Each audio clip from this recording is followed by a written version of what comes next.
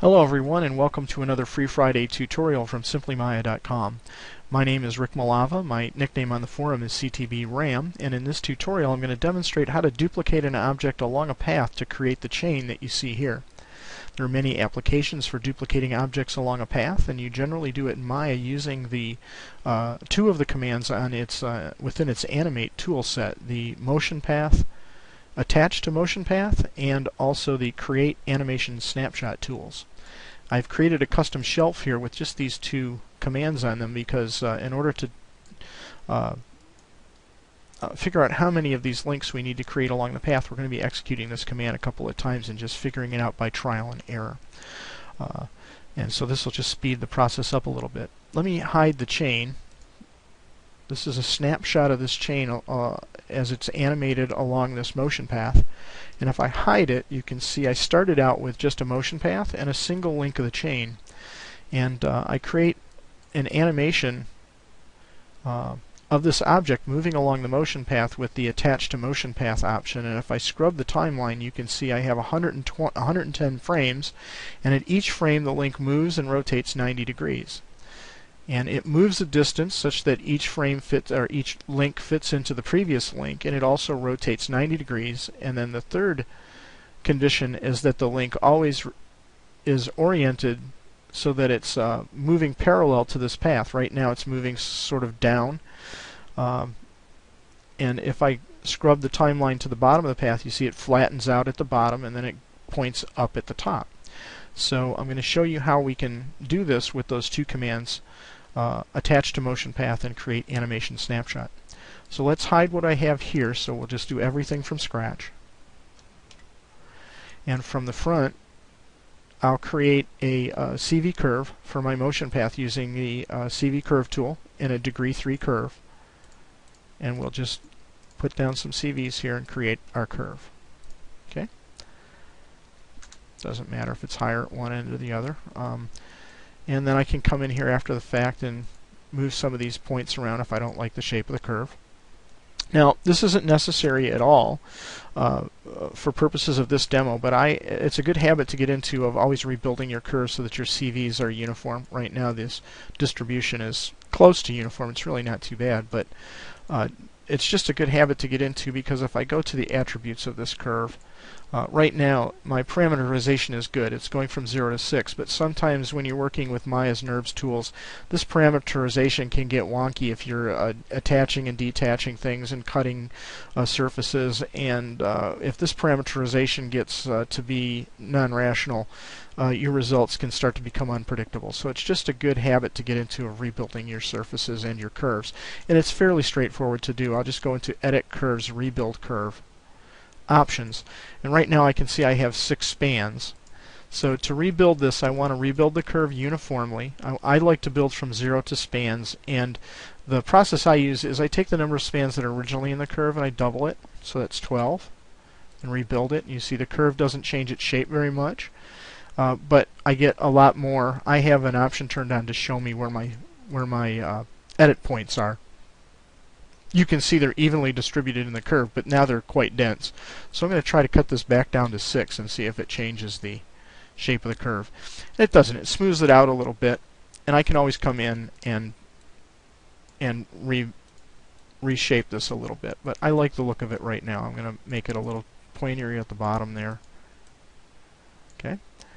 So I'm happy with that. So there's my curve. There's my motion path that I want to build my chain along.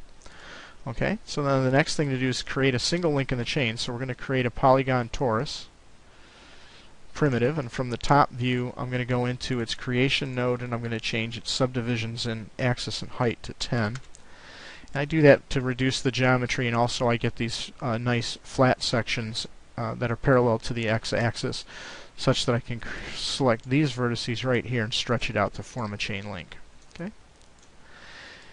Now if I come back up here, uh, when I attach this link to the motion path, it's going to attach to the motion path uh, by it, this, uh, its object axis, which right now you can see is not centered. So I'm going to go to my custom shelf here and center the pivot. And then once again, this isn't necessary, but I'm going to use the X and middle mouse button to snap to the origin there. And then I'm going to go to the scale tool and scale the link down to the size I want the link to be, each link to be.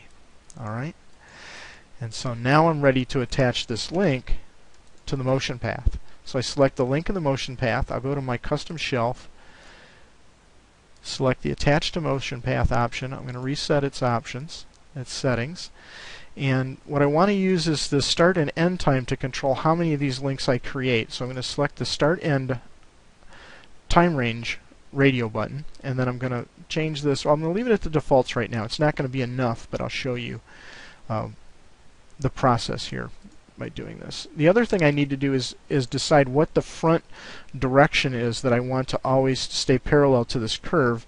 And if I select the move manipulator, the x-axis seems to be the logical choice. Keep in mind this may not be the same for your model, but right now x is a good direction for the uh, the front of the uh, object, and I also need to have an up axis, which just happens to also be correspond to y, which is also a default setting.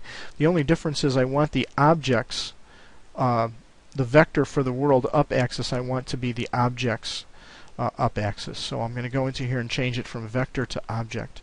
And now with the object selected in the curve, if I hit apply, you'll see the object snaps to the start of the curve. It's oriented with its front parallel to the curve and the up axis pointing inward and it, I see a 1 and a 30 for 30 keyframes and if I scrub the timeline now you see that there are 30 keyframes and the link moves along that path and orients itself according to the front axis and the up axis that I've defined. The next thing I want to do though is duplicate this ring at every keyframe and that's very simply done by selecting the animation snapshot and the only thing you have to do here is match the start and end time with the start and end time of your attached to motion path animation, which is 30. And if I select the ring and apply it, you see I get 30 copies of that ring, of that link, along this path. And the orientation is, pro uh, you know, it maintains the proper orientation. It's just it's not rotating 90 at each location, and I clearly don't have enough links uh, to make the change. So now uh, this is just a simple matter of trial and error to get this correct. I'm going to go and hit the Z key to back up a couple times. And we had 30 in that last, in that first try. So let's um, let's double it to 60. Okay, and hit apply. And then to visualize it, I'll just once again make an animation snapshot. And if I zoom in here, you see it actually works out very good. Each link is going to fit inside the previous link with just a little tiny gap in there. So the only thing I need to do now is rotate it 90 at each keyframe. So I'm going to just back up one step this time, and I'm going to keep the motion path attached to motion path. So you see it's moving along the motion path now. And the only thing I need to do now is at each frame I need it to rotate 90 degrees. And if I go to its motion path creation node and I look at this property for twist and I I scrub it, you see that the ring rotates. So I'm just going to I'm just going to key that property to rotate this ring 90 degrees at each keyframe. So I'll set this back at back to zero and I'm on frame one and what I'll do is select the front twist, right click and say key selected. Okay, and you see this little manipulator uh, gizmo pops up when I do that. And then I'm going to scrub to the last frame of the animation, which is 60. And what I want it to do is rotate 90 at each frame. So I need it to rotate 60 times 90, right? So uh, just to make sure that I don't do bad math here, 60 times 90 equals 500, uh, 5,400. So in the last frame in the twist value uh, property, I want to put 5400 and then I want to select the right click on the twist front twist property and say key selected. And you see you get another little manipulator pops up here at the end.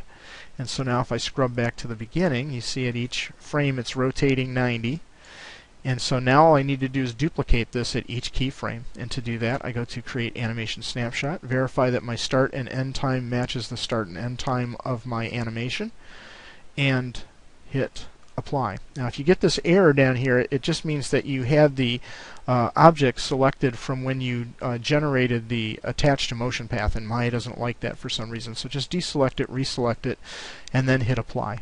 and there you go. And there you go. We've created a chain by duplicating this link along this motion path using Maya's attach to motion path and create animation snapshot.